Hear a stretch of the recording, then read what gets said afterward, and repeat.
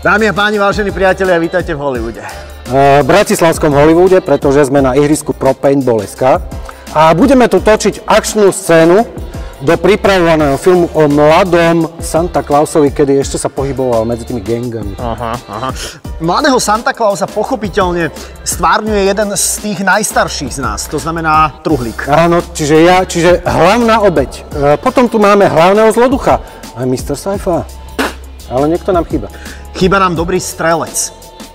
Strelec, strelec, strelec, no, strelec, strelec. Keby nám Mitsubishi zoslalo nejakého strelca, To by bolo super, lebo auto už máme, ale potrebujeme nejakého dobrého strelca. Ale, ale... Ha, ha, ha. Naša olimpijská reprezentantka v biatlone Paulína Fialková osobne. wow. Takže máme strelca, máme hlavnú zápornú postavu, máme obeď, môžeme ísť točiť.